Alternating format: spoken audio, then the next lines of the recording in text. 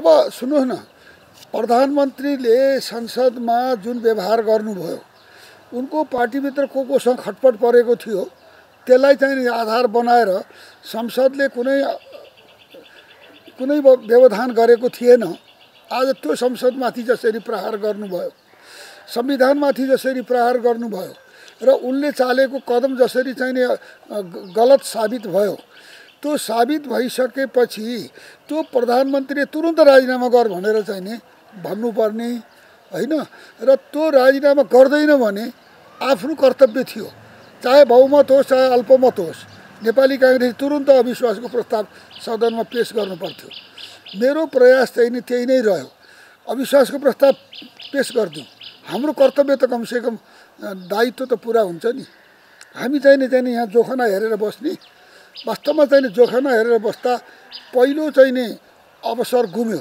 जुन बेलामा एमाले र माओवादी बनाएर अदालतले अर्को फैसला गरेका थिएन त्यो अवसरमा चाहिँ नि कम्युनिस्ट पार्टी आफैमा विभाजित भएर एक थरी बहुसङ्ख्यकले अविश्वासको प्रस्ताव अगाडि बढाएका थिए। त्यो बेला नै चाहिँ नि काङ्ग्रेसले चाहिँ नि हान्नु पर्थ्यो। त्यो बेलाको अवसर गुम्यो। त्यो अवसर जानी जानी गुमाइयो। र अनि त्यसपछि चाहिँ के हो भित्र साँठगाँठ थाहा छैन। त्यसपछिको अहिले पनि पछाडि आएर कङ्ग्रेसले आफ्नो जसरी तदारुकताका साथ आफ्नो धर्म निभाउनु पर्थ्यो त्यो धर्म निभाएको छैन। हाम्रो नेतृत्वले त्यो धर्म निभाएको छैन। त्यो त्यो चाहिँ नि क्रियाशीलता र अथवा चाहिँ नि त्यो कर्तव्य परायणता देखाएको छैन। हाम्रो पार्टीमा हामीले निर्णय त गऱ्यौँ कि हाम्रो नेतृत्वमा सरकार बनाउने यो केपी ओलीलाई राजीनामा गर्न लगाउने अथवा हटाउने।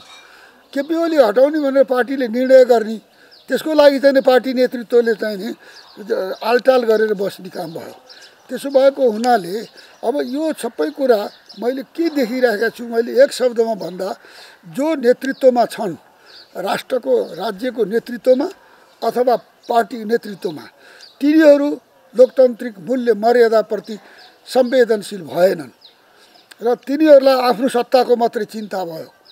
त्यसले गर्दाखेरिमा मुलुकमा लोकतन्त्रमाथि एउटा चाहिँ चिन्ता छाउन थाल्यो। यो चाहिँ नि मेरो चाहिने वास्तवमा अहिलेको चिन्ताको विषय हो।